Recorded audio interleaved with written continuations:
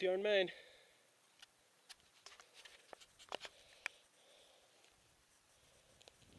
There's Tralee. What a beautiful day.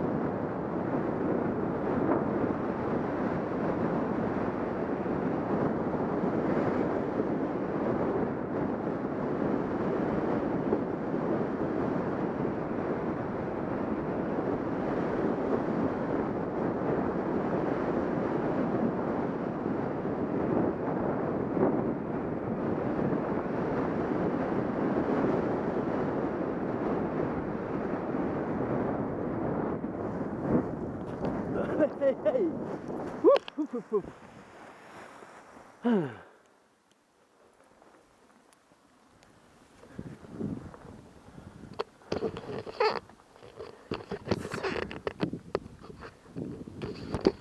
So if you want to stay tuned for some more of Simon running off hills and stuff, don't forget to hit that share button and like and subscribe. Alright.